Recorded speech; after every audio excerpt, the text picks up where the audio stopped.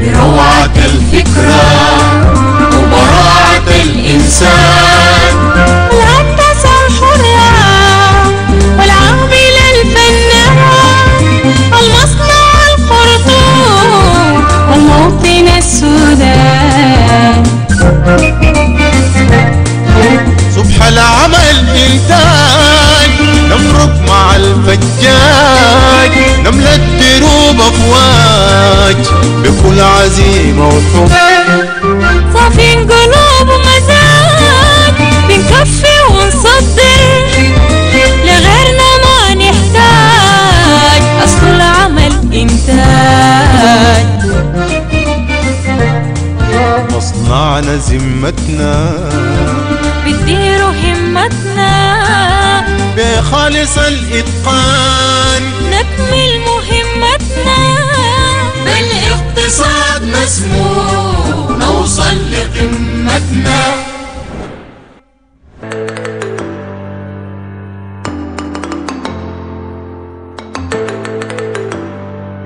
ندخل الآن واحدة من أكبر المؤسسات الصناعية في السودان وفي إفريقيا بمنتجات الجلود. السلام عليكم ورحمة الله وبركاته.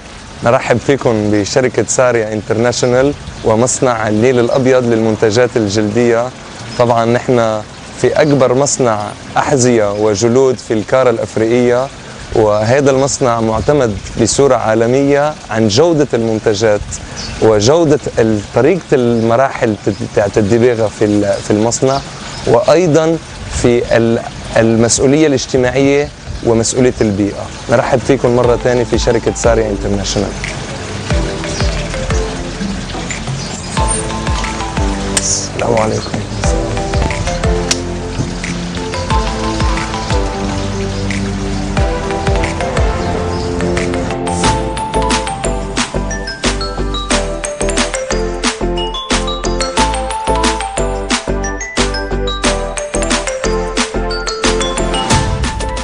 جميلة تتوزع في أرجاء خضراء. تتسق مع الذوق السوداني الرفيع. اخضرار وأناقة ومساحات تحفز وتشجع وتساعد على الإنتاج. طبعا بتلاحظوا هذا عبارة عن حديقة أكثر من مصنع. في سبب واحد طبعا. نحن في الصناعة الحديثة بنراهن دائما للبيئة. البيئة هي المستقبل مستقبل الأجيال ومستقبل الصناعة أيضا. إذا الصناعة ما عندها مسؤولية مع البيئة حنوصل لمرحلة كل المصانع حتبقى عليها مشاكل كثيرة وما حتستمر في الزمن. فنحن في مطبخة النيل الأبيض نحن مصرين إنه البيئة تكون سليمة للعامل وللدولة. طبعا صناعة الجلود بتسبب مخلفات وبتسبب يعني زي ما بيقولوا تلوث بيئة ضخم جدا من سبب المواد الكيماوية. فنحن في مصنع النيل الأبيض جربنا بكل الطرق مثلا من مواد كيماوية من إيطاليا ومن آه، من محطة معالجة مياه اتنفذت مع الأمم المتحدة إنه نخفف الأضرار دي للبيئة لتصير تقريبا صفر. نحن اليوم ممكن نقول إنه عندنا أكبر مصنع جلود في القارة الأفريقية عندنا في السودان في بلدنا الحبيب. وأيضا هذا المصنع ما يسبب أي ضرر ولا للمواطن السوداني ولو للمستهدف ولو للبيئة.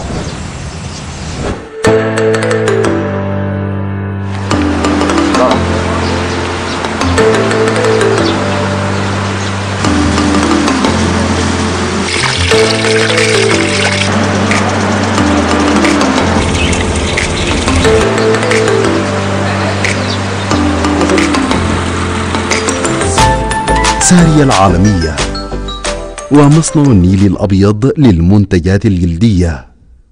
تتوزع أقسام الإنتاج فيها بالترتيب الإداري المحكم ومديرها العام يطوف بنا كل الأقسام. طبعا نحن حاليا حنسمع شوية صوت عالي لأنه نحن قريبين من الورش. عندنا أول ورشة اللي هي ورشة الحدادة والخراطة. طبعا نحن هنا بنصنع كل spare ات اللي بنحتاجها لمكانات اتصنعت في إيطاليا وفي الصين وفي تايوان. يعني عندنا الإمكانية نصنع spare ات بمستوى عالمي ممكن نشغل أي مكنة بوقت عطل مباشرة بسبب ال spare ات اللي تصنعت في النيل الأبيض. عندنا أيضا ورشة الكهرباء. ورشة الكهرباء هي عبارة عن عن workshop صغير بنعمل فيه كل ال contactor ات وال disjoncteur ات وكل الصيانة بتاعت الكهرباء. عندنا طبعا ورشة السباكة. صناعة الجلود تحتاج كمية من المياه وكمية من المواسير وكمية من التمديدات لصالح صناعة الجلود. فطبعا عندنا ورشة اونلي للشغل السباكة. طبعا هنا بعد الورش مباشرة عندنا الغليات. طبعا كل مكانات ال- الدباغة وصناعة الجلود بشكل عام تحتاج كمية رهيبة من الموية ومن ال- ومن البخار. بس طبعا هنا في شركة النيل الأبيض كل الموية راجعة بنستخدمها وبنعالجها وبنستعملها ثاني برضو عندنا هنا الكمبرسورات لأنه برضو الماكينات كلها تحتاج ضغط بتاع هواء عندنا ورشة التكييف والتبريد وطبعا هنا في هذه الورشة نحن بنصنع كولرات وبنجدد كل التكييف والكولرز اللي مطلوبين للصناعة أو بس للمكاتب. عندنا هنا غرفة الكهرباء وأيضا عندنا مولدات. حتلاحظوا طبعا في أثناء الجولة إنه كل مصنع عنده المولد ال independent بتاعه مش نضمن إنه مهما تكون الظروف يقدر المصنع يشتغل بدون أي أي أي تأثير. عندنا ورشة الألمنيوم برضه مشان عندنا معالجات سريعة بتصير في المكانات بس أيضا في الشبابيك وفي المباني بشكل عام. عندنا المختبر بتاع ال quality control طبعا هيدي نقطة حساسة ومهمة جدا في هذا المصنع لأنه ما بنفحص جلودنا only برضه بنفحص كل المواد الكيماوية اللي بتيجي من الخارج سواء من إيطاليا أو من الصين أو من أي دولة ثانية مشان نضمن ال quality والمواصفات العالية في منتجاتنا. عندنا مستودعات المواد الكيماوية. طبعا 90% من المواد تيجي من إيطاليا ومن تايوان وفي جزء بسيط بيجي من الصين اللي هو ال base chemical يعني. ونتمنى إنه في المستقبل كل هالصناعات تأتي من السودان وما نحتاج نجيب مواد كيماوية من الخارج. فأحب أذكر معلومة صغيرة. الجلد الخام يدخل قيمة مضافة 1% الجلد اللي جزء مصنع اللي بيقولوا الويت بلو هو يدخل 6% الجلد الكراست اللي برضه جزء مصنع 7% الجلد المشطب 100% والمنتجات الجلدية 300% وهذا الهدف حققناه نحن في مصنع النيل الأبيض. من الصناعات ذات الأهمية الكبيرة والتي نحن يعني نؤمن يعني نفرد لها كثير من المشاريع والأنشطة هي صناعة الجلود. باعتبار أنه السودان عنده ثروة كبيرة جدا من الجلود. والسودان ينتج تقريبا حوالي 25% من جملة الجلود المنتجة في إفريقيا.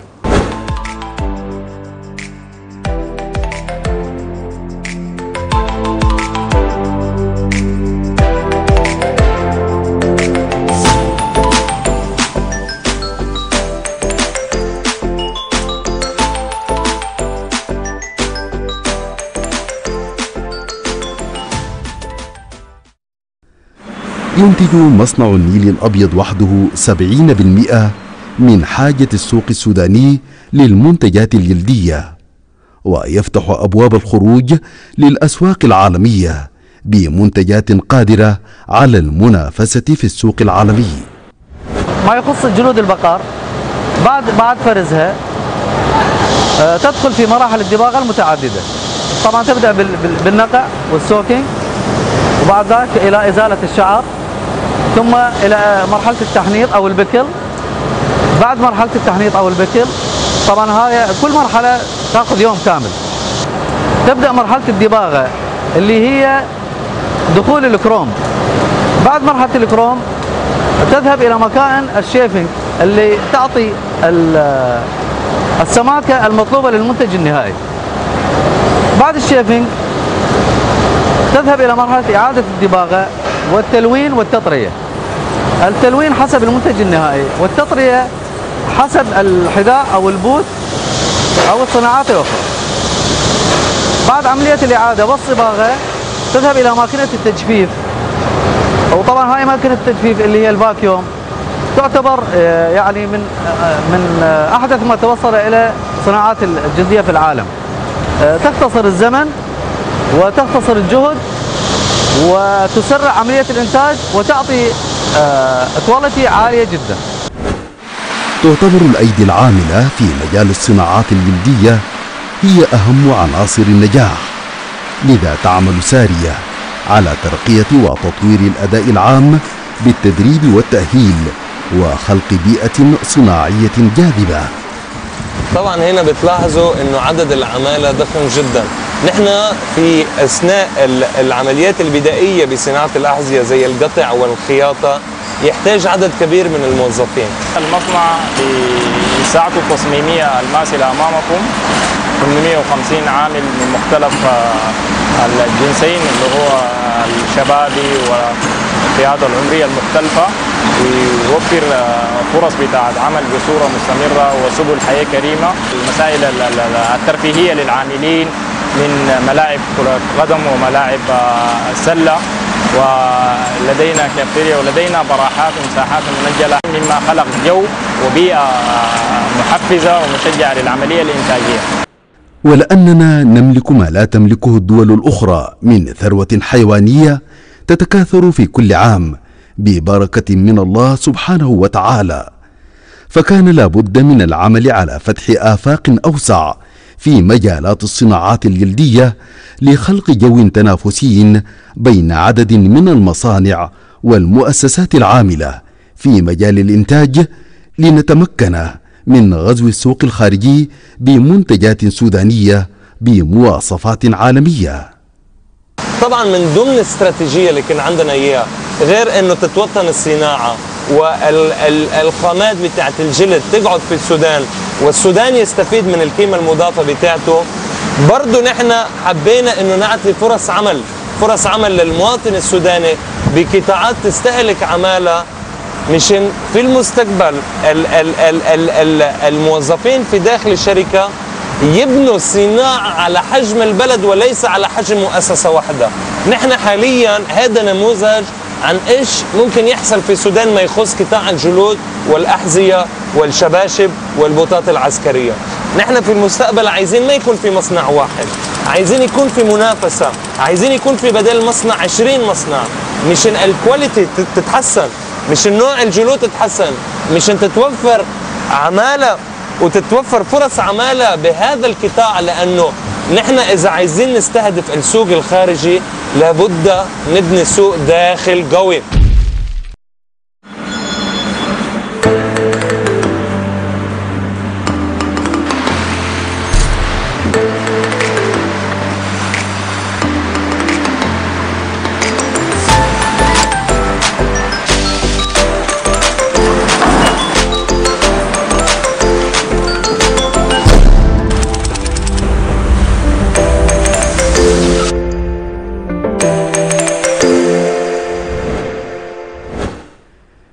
تحمل سارية على عاتقها مسؤولياتها المجتمعية والتزاماتها الإنسانية تجاه شرائح خاصة. ولهذا أتاحت سارية العالمية ومصنع النيل الأبيض للمنتجات الجلدية فرصة لاستيعاب ذوي الاحتياجات الخاصة. نحن الصوم دائما واجهنا صعوبات في فرصة العمل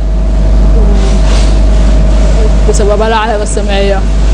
لكن في شركة سارية وجدنا دعم من السيد المدير محمد الرفاعي. وفتح لنا كل مجالات العمل وتعلمنا كثير من الأعمال المختلفة. واجتمعنا في العمل وساعدنا الأسرة. ولولا الشركة ما وجدنا فرصة في أي مكان آخر. كل شيء وأي شيء يتعلق بصناعة الجلود تفعله سارية. وتنتجه وتقدمه للسوق السوداني المحلي وتصدره لدول عربية وإفريقية في المجالات المدنية والعسكرية. الحمد لله نحن بنغطي يعني عدد آه، مقدر من السوق السوداني آه، يكاد يكون نسبة مقدرة جدا في الأحذية المدرسية تحديدا وبالنسبة للصنادل والأحذية الشبابية نحن الحمد لله آه، عندنا منتجات عالية الجودة. لها قبول كبير جدا في السوق السودانية وإن شاء الله حنصل برضو الإنتاج المدني. في القريب العاجل برضو عندنا بعض الاتفاقيات إن شاء الله سوف ترى النور قريبا. آه، مع تجار في الخليج وفي سلطنة عمان وفي آه، السعودية. وبإذن الله تعالى يعني من يكون من من المصانع الرائدة جدا في مجال الأحذية إن شاء الله في القريب العاجل. طبعا نحن هون يعني بنشوف أكبر دليل انه إنه الاستراتيجية بتاعت هيدي الشركة سليمه بنشوف أحذية بجودة عالمية بمواصفات عالمية بكواليتي ممتازة بسعر أقل من سعر السوق. والآن تشوفوا عمليات الإنتاج هيدي بموظفين من أهل البلد شباب البلد مستقبل البلد هن اللي قاطعين يهيئوا في صناعة البلد ويوطنوا في صناعة البلد ويطوروا في صناعة البلد. هذا المشروع نموذج عن ممكن عن ممكن في السودان ممكن نبدع ممكن ننتج بشكل عالمي بمواصفات عالمية وبجودة عالمية وبشهادات عالمية. لا يتحقق النجاح الصناعي إلا من خلال النظم الإدارية الجيدة والتخطيط السليم وبنظام إداري محكم ومرن يستطيع العبور بالمنتج السوداني إلى آفاق اقتصادية أوسع. نحن هسي داخلين على زي ما بيقولوا روح الشركة اللي هي الإدارة. بنلاحظ هنا يعني كل المكاتب الموجودة مكتب له دوره عندنا مكتب المدير ال- ال- المالي عندنا الخزنة عندنا إدارة الحسابات كلها عندنا المراجعة الداخلية. فبنلاحظ إنه كل مكتب له دور مهم. جدا يعني بعمليات الاوبريشنز تاعت الشركة. بنلاحظ هنا المراقب المالي عندنا هنا إدارة المبيعات برضو عندنا النائب المدير المالي عندنا التسويق عندنا طبعا المراحل الثانية اللي هي بتيجي ال social media يعني كل شيء ما يخص الفيسبوك واليوتيوب والحاجات دي وعندنا المخلص اللي بيشوف كل العمليات اللي بتيجي من بور السودان وكل شيء. برضه في قاعة اجتماعات صغيرة ما تخص الموظفين إذا عندهم اجتماع سريع. في المدير الإداري في المستشار تاع ال- المدير العام وفي مراجعة الأرشيف ومراجعة ال human resources